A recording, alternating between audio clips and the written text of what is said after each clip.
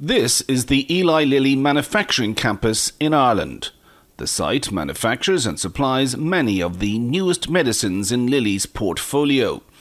When the COVID 19 pandemic spread across the globe in the spring of 2020, scientists and engineers at this Eli Lilly site were at the forefront of a project to tackle the shortage of a chemical agent called lysis buffer, which is a key component in the coronavirus PCR testing.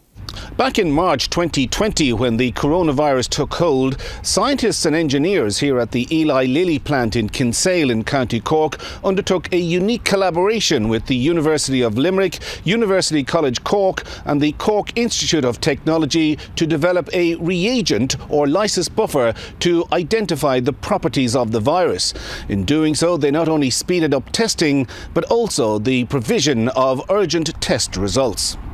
Many of you people will remember early in March the TV footage we saw coming out of northern Italy that focused on intensive care units that were collapsing due to the load of COVID patients. At the time, many of us here in Ireland thought we just would not want to see that happen here. So a number of people from Lilly and other companies, both pharmaceutical firms and also engineering firms, came together and offered voluntarily a team of resources to the health services to respond to any needs they might have. And so the COVID Alliance was born. The whole intent of the alliance was built into its motto, actually, which was an Irish uh, phrase called Bí Ullamh ní Náirtach which is be prepared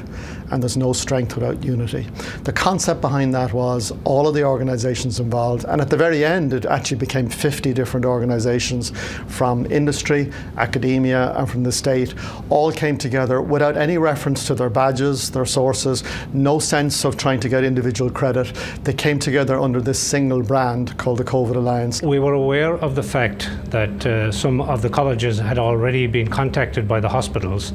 to see what they might be able to do. Obviously, uh, academic laboratories usually deal with very small quantities of materials, and what they had uh, been doing was essentially uh, modifying the, the uh, formula for the buffer uh, such that we could actually minimize the, the quantities of materials, and particularly uh, a chemical called guanidine thiocyanate, which is the key uh, ingredient, if you will, uh, in the buffer.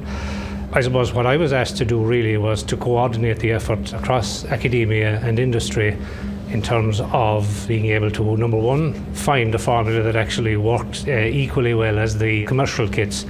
and then to be able to find a mechanism for scaling that up such that we could supply countrywide on an as needed basis.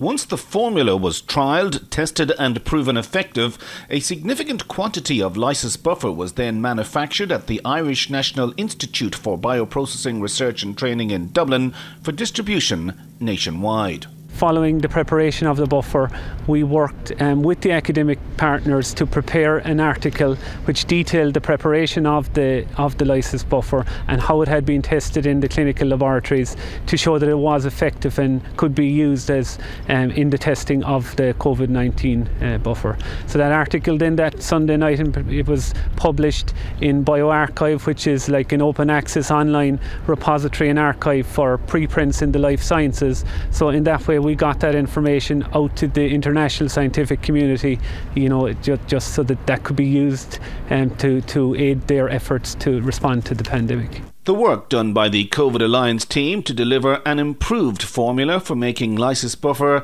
meant that Ireland was in a position to significantly increase weekly COVID 19 testing capacity at a critical stage of the pandemic. This increased testing capacity has surely contributed to greater and faster identification of COVID 19 cases, helping reduce the spread of the virus in Ireland, thus saving lives over the course of the pandemic to date.